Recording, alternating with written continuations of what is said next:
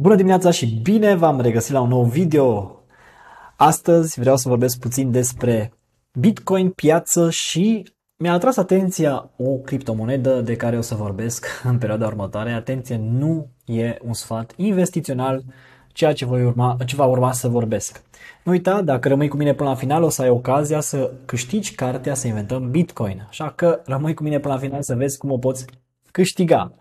Bitcoin în momentul de față a, vreau să mai vorbesc și despre dominanță un pic, să, să fac o introducere în dominanță. Asta va fi lecția de astăzi. Pentru cei care uh, știți și așteptați o lecție, asta va fi. Uh, în momentul de față vedem că Bitcoin arată foarte bine, a început să se miște frumos, punem pe graficul pe o zi, fiecare candle, fiecare lumânare de aici reprezintă o zi și vedem că în această zi a avut o creștere frumoasă, nu prea avem volum, dar este începutul zilei.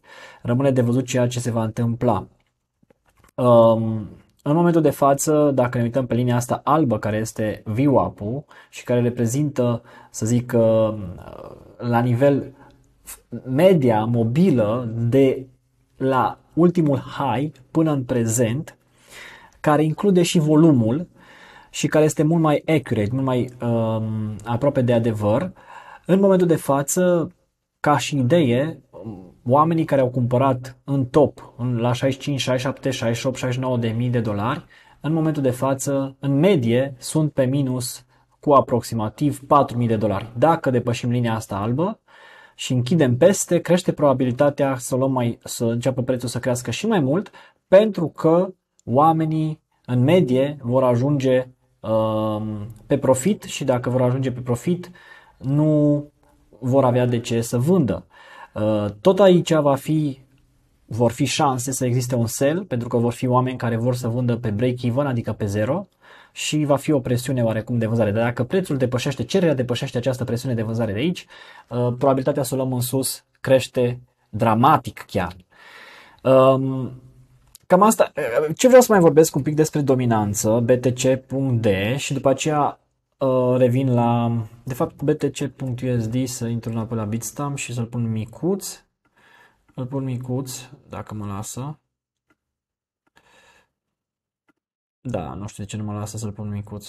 Așa. Și intru sus, care este dominanța. Vedem că dominanța a avut uh, o creștere, ca și idee, ca și început să vă explic ce este dominanța. Dominanța reprezintă, pentru cei care sunteți uh, mai noi în piața de criptomonede, reprezintă ce procent din piață este uh, Bitcoin și ce procent criptomonedele alternative.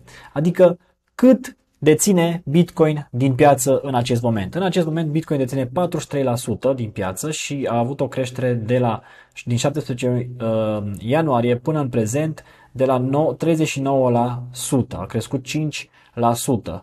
Uh, de obicei, dominanța este jos atunci când suntem în bull market și dominanța crește când suntem în bear market. Dacă ne uităm în trecut, din 2018 până în uh, septembrie 2019, din, uh, la începutul 2018 până în septembrie 2019, dominanța Bitcoin a crescut în dominanță în acest bear market când oamenii s-au retras în dolari și în Bitcoin uh, în perioada în care Bitcoin a fost, uh, să zic, uh, cum să zic, când piața a fost jos.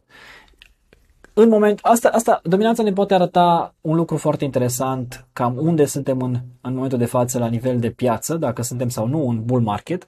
În bear market, dominanța niciodată până în momentul de față nu a fost sus.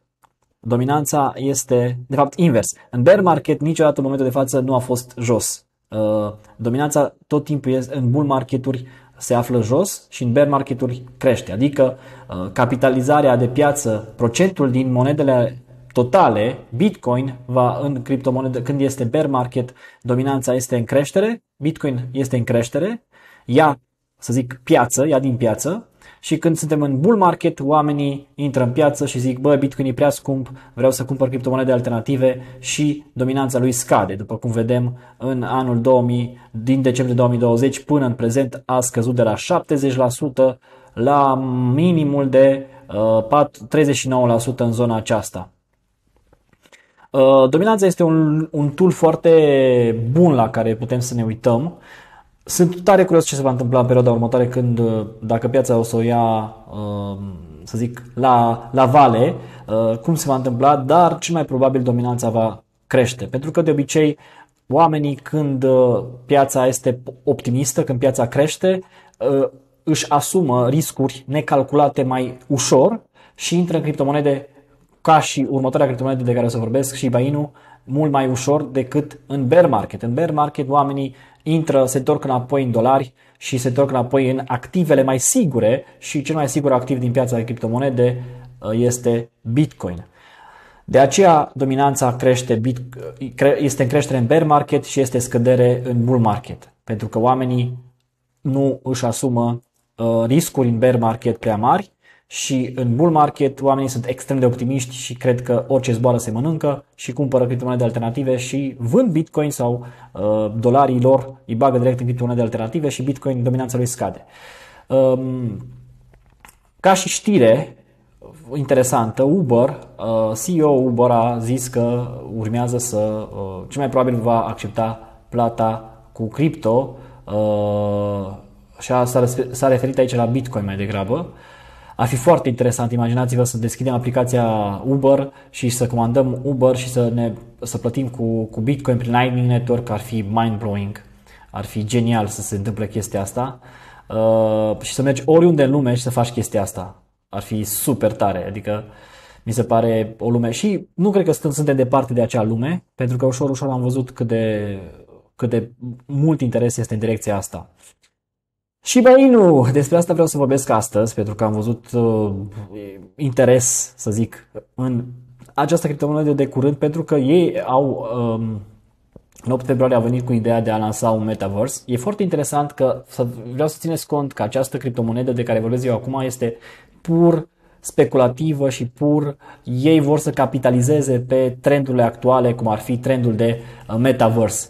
E fantastic cum acum au anunțat că o să lanseze și ei un metaverse uh, și să profite de această, acest trend în piață, ceea ce uh, cre- cresc, crește probabilitatea să mai vedem o, uh, o, o, un show dacă bull marketul ăsta va continua și uh, să vedem un show pe partea de Shiba Inu, Shiba Inu, hai să vedem, Shib, punem pe uh, USD și punem pe daily. Și dacă ne uităm pe grafic, mamă ce am desenat eu aici. uh, de mult, am desenat. Dacă ne uităm pe grafic, a avut acest în 4 uh, februarie, de fapt în 5 februarie a început să crească. Vedem un pump în zona aceasta, la Shiba, și acum este oarecum în, uh, este în cădere. Bine, dar acum eu mă uit pe graficul de USD, hai să uităm pe graficul de BTC, că e mai, e mai accurate graficul de BTC și ba... Nu știu, nici nu știu dacă are grafic pe, de BTC. Shiba uh, BTC. Calculated by TradingView. Da, nu, nu, nu cred că are. Uh, hai să vedem pe FTX, că aici e mai, e mai curat graficul. Da, deci să revenim. Cum ziceam, a avut această, acest pump, uh, probabil în urma sau înaintea știrii că va lansa un metaverse care se va numi Shiber, Shibers, Shibers, nici nu știu cum să, cum să pronunță asta. Și ăsta este numele de cod, încă nu este numele final. Și chestia asta mi se pare interesant că știți și voi Shiba Inu a avut o creștere formidabilă în trecut, iar dacă echipa din spate vrea să capitalizeze pe noile trenduri, crește probabilitatea să se întâmple la fel în perioada următoare. Atenție, nu este un sfat investițional. Și ca idee, eu arăt proiectele, am mai arăt câte un proiect de genul ăsta pentru că voi îmi cereți în comentarii și uh, consider că e o oportunitate să batem randamentul Bitcoinului și să batem randamentul pieței, bineînțeles cu riscuri adiționale. Deci fiți foarte atenți.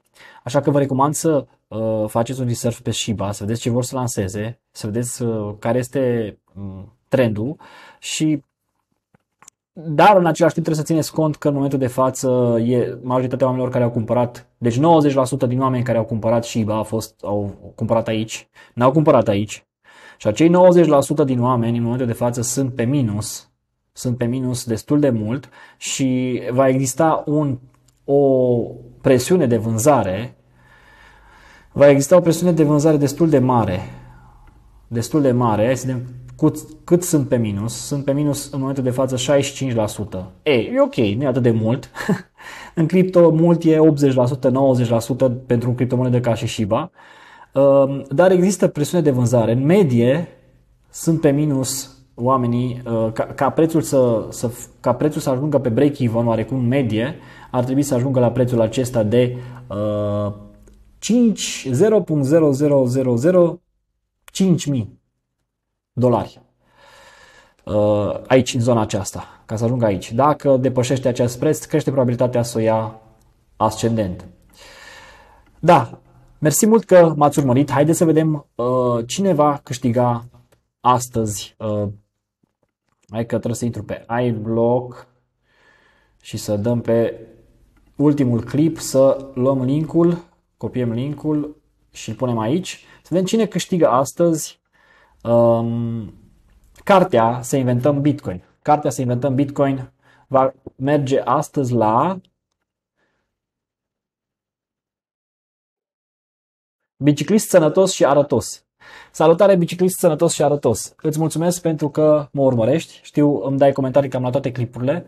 De mult mă urmărești. Uite că norocul a ținut cu tine și ai câștigat cartea Să inventăm Bitcoin. Ca să intri în posesia ei, trebuie să trimiți un e-mail pe office.iblock.ro, vei găsi în descriere e-mailul și să-mi scrii uh, și eu să-ți dau care sunt pașii de urmat ca să intri în posesia ei. Atenție, cartea este în format fizic, dacă o vrei în format fizic trebuie să plătești transportul, dacă o vrei în format audio o să o primești gratuit.